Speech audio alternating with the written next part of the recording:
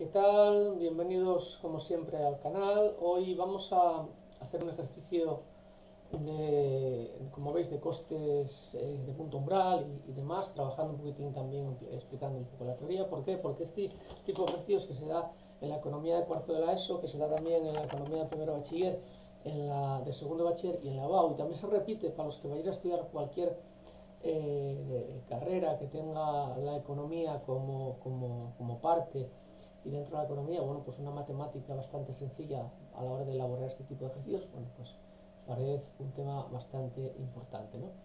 Eh, como si escucháis un poco de fondo, voy a, subir un poquitín, igual, quizás no, no salga. Eh, estamos utilizando, bueno, pues un, un sistema de, de ayuda, de apoyo y de música libre encontrada en internet, bueno, pues para dar un poquitín de aliciente a los vídeos y que no sea solo pues eh, la voz del, profesor en este caso o bueno pues eh, claro si estamos explicando un tema pues eh, la música estropea, digamos la atención ¿no? pero en este caso un, ejercicio pues no pues a lo mejor no, no bien mal ¿no? Como os digo, hay música libre que se encuentra en alguna página de internet, con lo que nos evitamos cualquier tipo de temas de, de royalties y demás, aunque este, este canal, como sabéis, ya es gratuito. Bueno, pues vamos a lo que ya lo importante. Eh, nos encontramos con que hay una empresa que tiene unos costes fijos de eh, 20.000, 25.000 euros, eh, su coste variable medio son 10 euros y su ingreso medio son 30 euros. Recordar que eh, los costes variables medios son siempre el precio de compra y el ingreso medio y el precio de venta. ¿Por qué? Porque muchas veces nos dan precio de compra o precio de venta o coste variable medio o ingreso medio. ¿no? Bueno, pues vamos a, la primer, a lo primero de todo, que es eh, definir las opciones de costes e ingresos. Bueno, empezamos con los costes fijos, que como nos los marca ahí son 25.000. Los costes variables medios, que también me los da, son 10 eh, luego tenemos eh, los costes variables que serían 10, que sería el precio o coste variable medio por la cantidad. Eh, el coste total sería la suma de costes fijos más costes variables, o lo que sería lo mismo 25.000 más 10Q.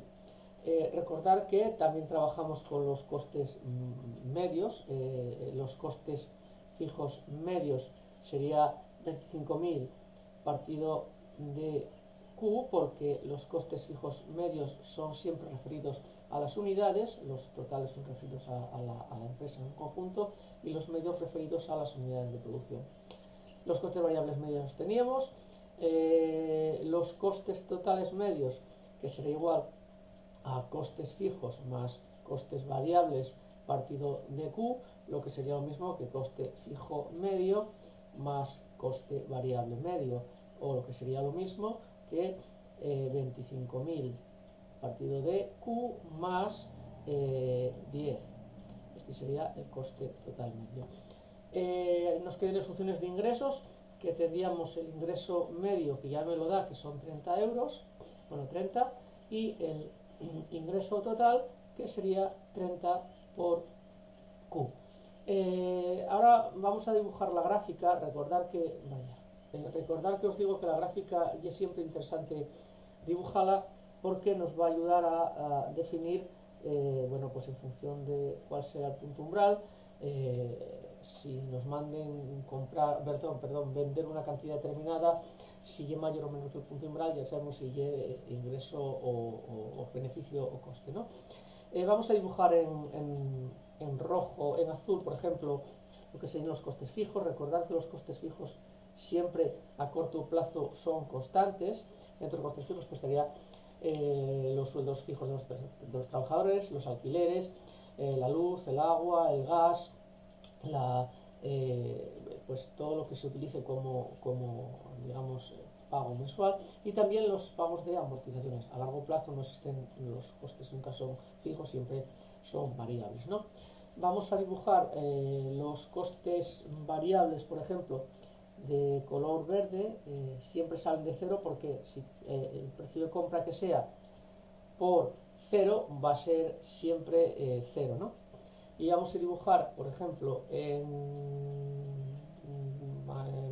verde, por ejemplo, verde más claro, lo que serían los costes totales que nacen a partir de los costes fijos y tienen que ser eh, pues paralelos a los costes variables, pues son costes fijos más costes variables.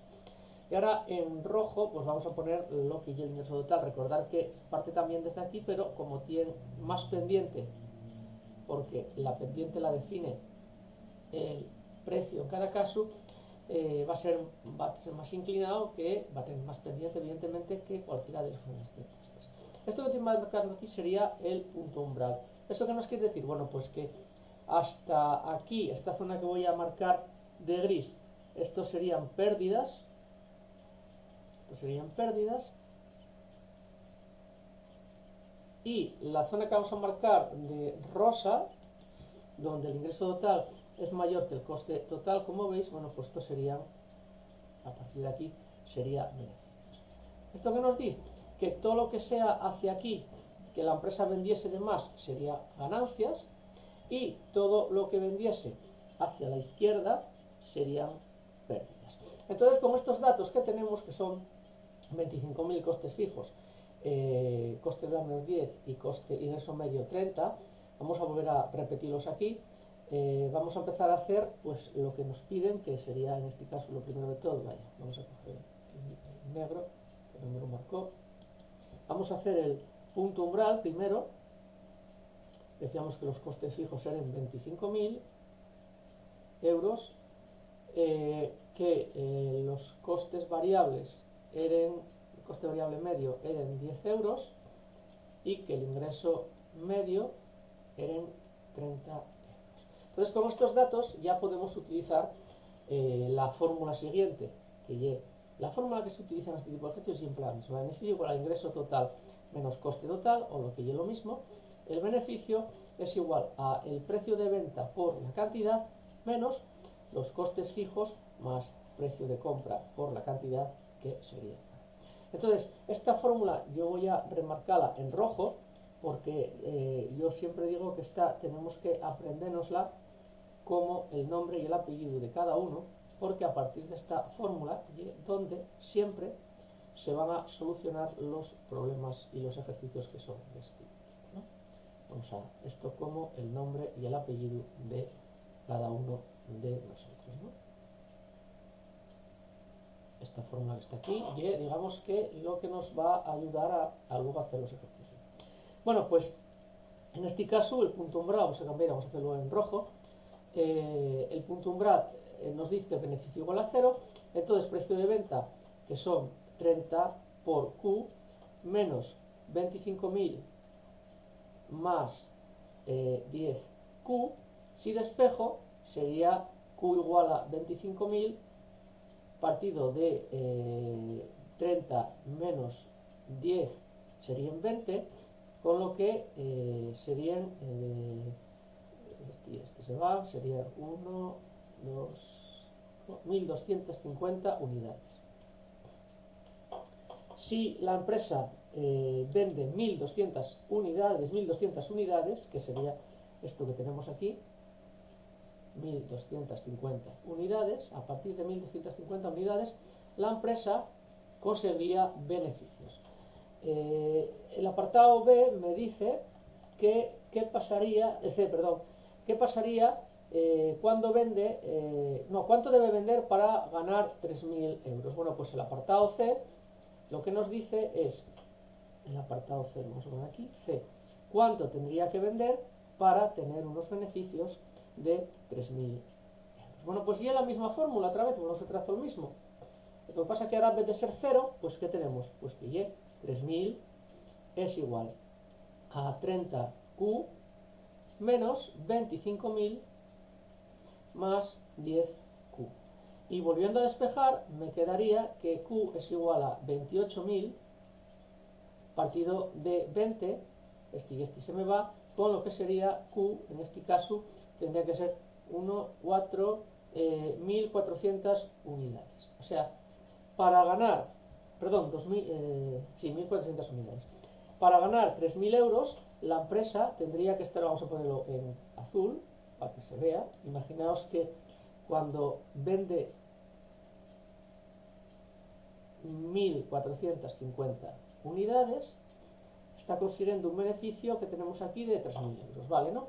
Y ahora, eh, la última pregunta nos dice, ¿qué pasa cuando vende 2.000 unidades? Bueno, pues el apartado D, por eso es interesante que eh, hagamos la gráfica, el apartado D me dice que qué pasa cuando, eh, no, perdón, beneficio, si gana o si pierde, cuando Q son 2.000 unidades.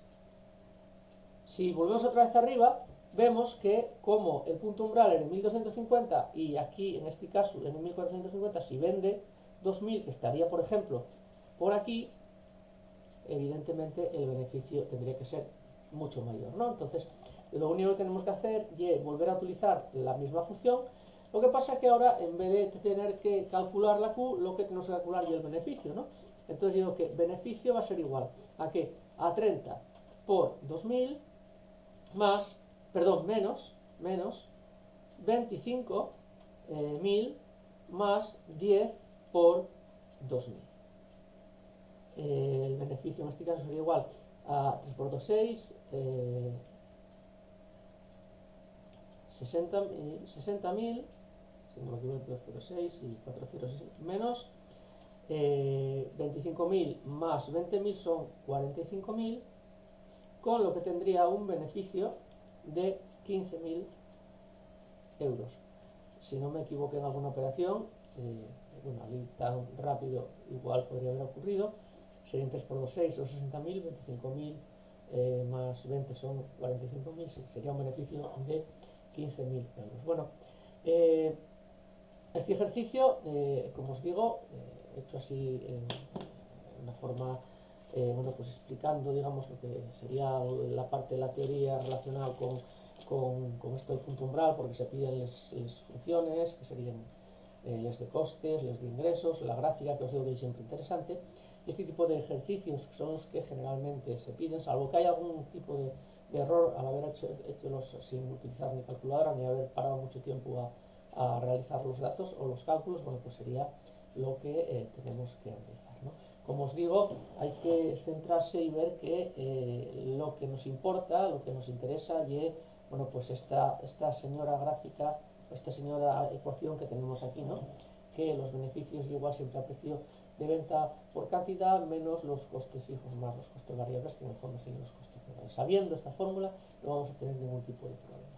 Bueno, eh, como siempre, agradeciendo vuestra presencia en este canal, en esta sala, me despido hasta otra ocasión, esperando bueno, pues que os haya servido de, eh, algo este, este, este apoyo. Muchas gracias, hasta otra ocasión.